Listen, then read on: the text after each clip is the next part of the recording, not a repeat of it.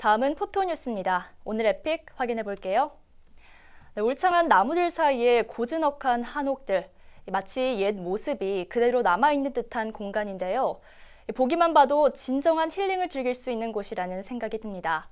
여기는 바로 장수군 대곡 관광지인데요. 장수군 대곡 관광지는 백두대간의 길을 받아 수려한 산세와 또 맑은 물이 있는 곳입니다. 오랫동안 머물고 싶은 숙박단지로 관광객들에게 인기가 많다고 하는데요.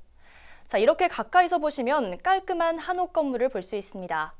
단조로움과 화려함을 동시에 느낄 수 있는 것이 우리 한옥의 아름다움이 아닐까 싶은데요.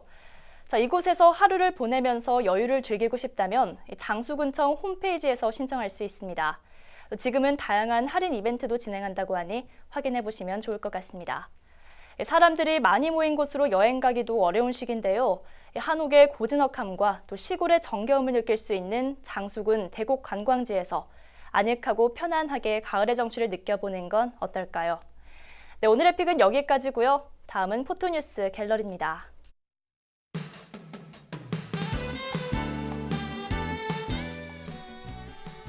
아이와 함께 더불어 성장하는 부부 되기를 주제로 한 부모 교육 특강이 10월 15일 전주 시립도서관에서 열립니다. 전주 시립도서관 홈페이지 또는 전화로 접수할 수 있습니다. 인후삼동 새마을협의회는 도란길 어린이공원에서 공원 경계를 나타내는 울타리와 소나무 등의 전지 작업과 환경 정비를 실시했습니다.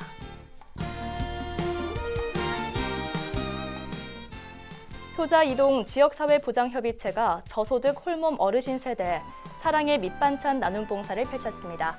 포토뉴스였습니다.